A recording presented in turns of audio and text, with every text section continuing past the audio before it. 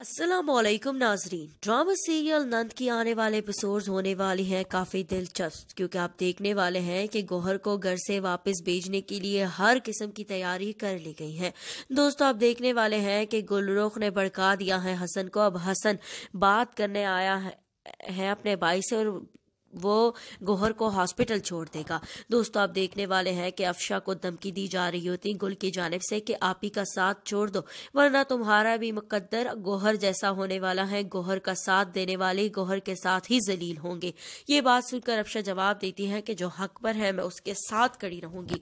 और मुझे पता है कि इस वक्त हक पर कौर है, सच पर कौर है, और मैं कभी भी उसका साथ नहीं छोड़ूँगी।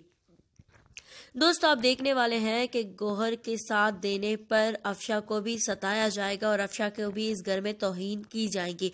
लेकिन साकिब उसकी भरपूर मदद करेगा। गुल और गुल की वालदा अपने बातों से सुधरने और बिकरने वाली नहीं है। वो अपने मकासद में कामयाब होने के लिए हर हद तक जा सकती है। दोस्तों, अगर आपको हमारी ये वीडियो अच्छी लगी हो तो हमारे इस चैनल को सब्सक्राइब करना मत भूलिएगा। शुक्रिया।